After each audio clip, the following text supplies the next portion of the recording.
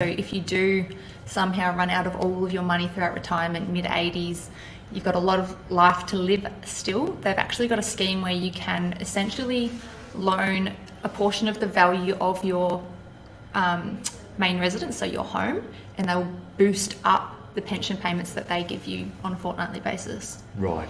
So for yeah for max yeah maximum rate pensions, they can get an extra fifty percent on top of their fortnightly payment.